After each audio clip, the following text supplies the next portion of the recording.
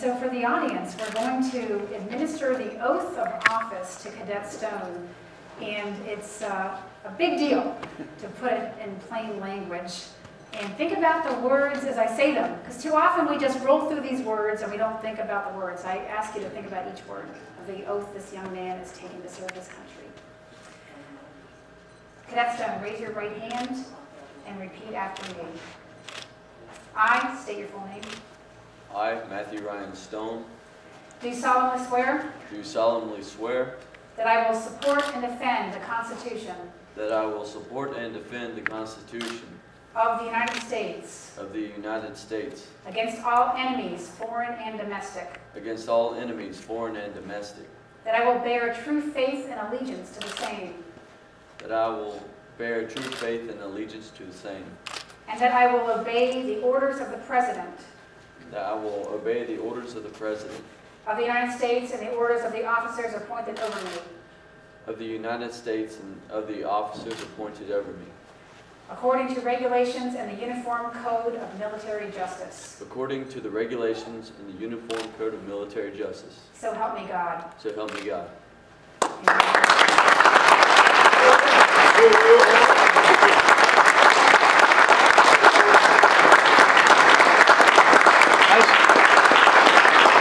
I just want to say how thankful I am as a military police officer, enlisted, and come up the ranks a little bit, not as much as an admiral, but to be assigned here to work with these cadets and have the uh, honor to be standing with an admiral and the Coast Guard to do this for one of our cadets. I know you're a very busy man. I know Cadet Stone is very, very appreciative of it. Thank you, man. And uh, You're welcome. we thank you for your service, man. We thank you for coming to Winthrop, and, uh, and we appreciate it. Thank you for supporting the ROTC program.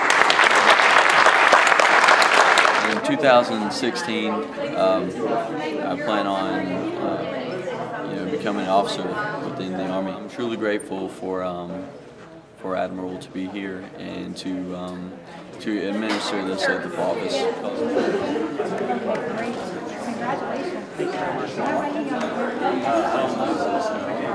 Thanks, Guard have amazing missions ranging from humanitarian service, such as search and rescue. In fact, off the coast of North Carolina just a year ago, the HMS Bounty sank, and it was Coast Guard rescue helicopters that searched and actually did save um, some people on that crew. We do law enforcement, such as fisheries enforcement, to preserve our natural resources and to deter against illegal incursions into our country. In addition, we secure the nation's ports and waterways against threats that can be delivered from the sea. We respond to man-made disasters. We were the front and center in the Hurricane Katrina disaster, in the Deepwater Horizon uh, most recently, down in uh, the Gulf Coast. And uh, believe it or not, we help defend our nation overseas. We have patrol boats that are serving in the Persian Gulf as we speak.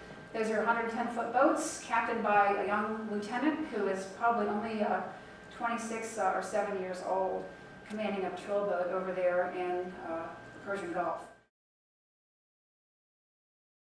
Joined in 1978 to the Coast Guard Academy, and I ended up choosing the Coast Guard over the Navy because when I looked at both schools, the Naval Academy, uh, its women graduating uh, weren't allowed to serve in combat ships. They were excluded by Title X, a combat exclusion law.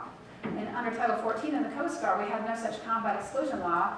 So we had, uh, and still have, 378-foot light frigate-style ships that were armed with, at the time, we had Harpoon and Sea Whiz missiles on uh, some of those for a while. But those ships were open to women, so there was no jobs that women were excluded from serving when they graduated. So I chose the Coast Guard because I wanted uh, to have equal access uh, for putting in the same hard work. So I came into Coast Guard Academy in a third class of women. Women made up just 5% of the cadet population in those days. And I was the senior boarding officer and the only woman on the ship. So Pacific Northwest, and we're boarding the fishing fleet. And there was a, that's another part of the country that has different mindsets about culture. And so people were telling me you'll never, you know, you're never going to be able to have respect going on a fishing boat because you're a woman and they're not going to respect you going on there, telling them what the rules are and how they're supposed to comply.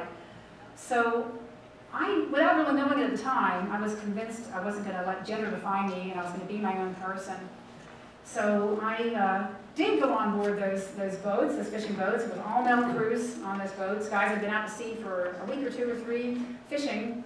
And uh, I would announce that I was coming, and we, I'd be the first one on board with a boarding party behind me. And um, I'd walk on board, I was pleasant to them, I um, greeted them courteously. And the first thing we had to do for officer safety was ask if they had any weapons. So I'd ask them first off, do you have, you have any guns? Now, if a guy goes on board a fishing boat and it's all men crew, and a man, a male enforcement officer asks a male fisherman, can I see your guns? That's a threat, kind of, you know? It's like, that's my guns, you know, it's my personal weapons. And there's a, conf- a conflict right away. But when I went on board as a female, young, I was young in those days, and I smiled at them, can I see your guns? They're like, what else can I show you? I'll show you. You want to see my fish? You want to see my log entries? I um, excelled as a boarding officer because I used my gender to my advantage, and I didn't let people tell me you're not going to be able to go on board there.